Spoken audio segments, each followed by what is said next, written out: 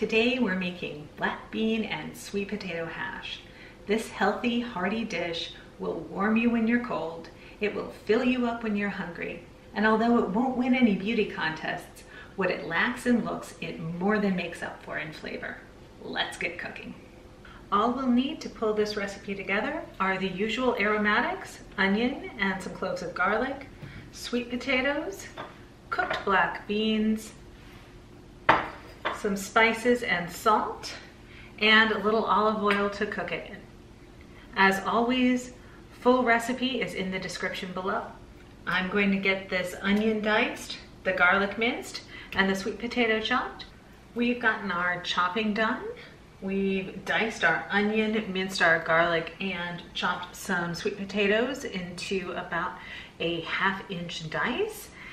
And we've also heated about a tablespoon of olive oil. I'm using a nonstick pan. If your pan um, is not nonstick um, or not cast iron, you might find you need a little bit more olive oil than that.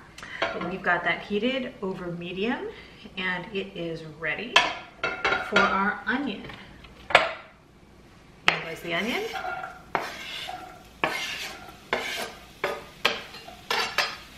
And this wound up being most of a large onion, or if you have a medium yellow or white onion, that'll be just right.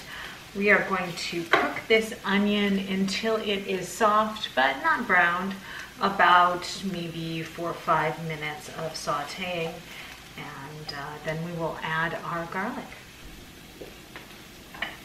Our onions have softened. It took about five minutes a few slightly golden brown bits, but overall not particularly browned.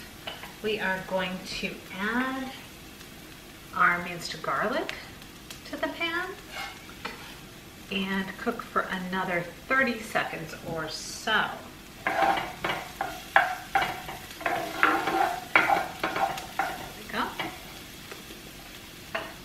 And once that garlic's been in there for about 30 seconds, we're going to add our sweet potatoes.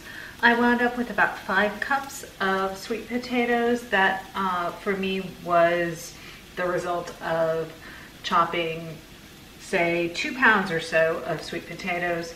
You can definitely adjust this up or down um, if you want more sweet potatoes versus uh, fewer or a higher like bean to potato ratio do whatever you want with it. It's definitely not an exact science.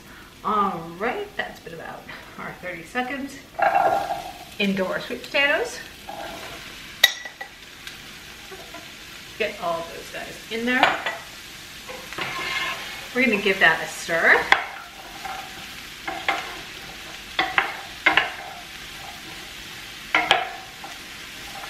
And add just a bit more olive oil to coat those potatoes.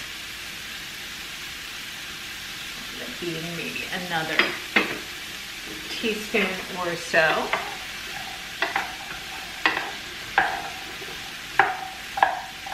And once our sweet potatoes are tossed in the olive oil, we're gonna go ahead and add our spices.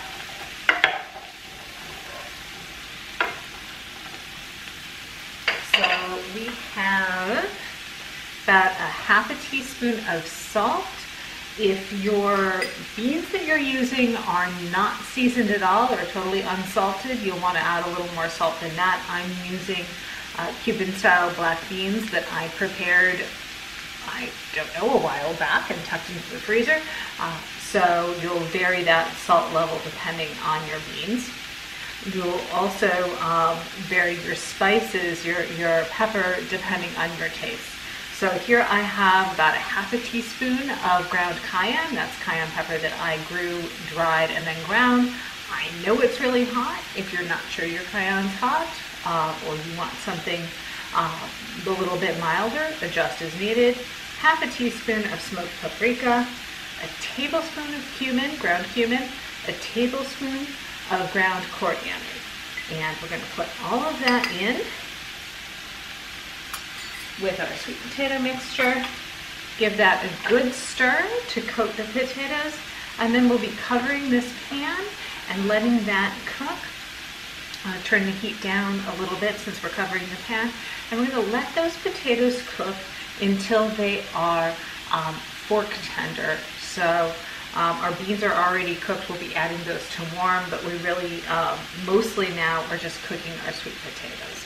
So we'll we'll check on those every five minutes or so, stir um, each time we check, and we will be back with some tender potatoes. Our sweet potatoes have been cooking for just shy of 20 minutes. They are tender, but not smushy yet. And so we can see kind of how those look nice and coated in the spices. The last step is to add our black beans. I have about a cup and a half of cooked black beans here. These are from a recipe that is already on the channel, delicious Cuban style black beans. You can absolutely use a can of black beans um, and uh, just make sure that you adjust your seasonings if those are unsalted, for example. You'll want to add a little more salt. If they um, they are well seasoned, then you know, might um, adjust from there. You can always add salt, pretty tough to take it away. So in go our beans. And these are just going to cook for a few more minutes just to let the flavors meld and particularly if your beans are not warm to let the beans heat up. And that's really all the more we're going to need to do. So we will stir this together, cover it back up, let it cook for a few more minutes and our, our hash will be done. Our beans have been in the pan for four or five minutes, enough time for them to warm through and for the flavors to meld together. Now it's time to take a taste. Mm. Just right. Of course, if you needed to add salt or spice or anything else at this point, you definitely could. Mine are just where I like them to be. So I'm gonna turn the heat off, plate up some dinner, and I certainly hope that you try these out for yourself for a nice, hearty, totally vegetarian, um, and rather healthy weeknight meal. Check back again every Friday at 4 o'clock for a new video.